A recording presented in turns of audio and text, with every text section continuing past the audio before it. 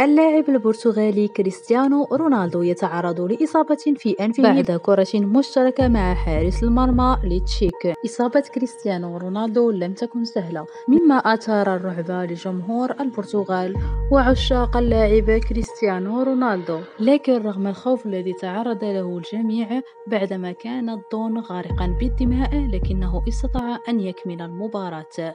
سلامات للدون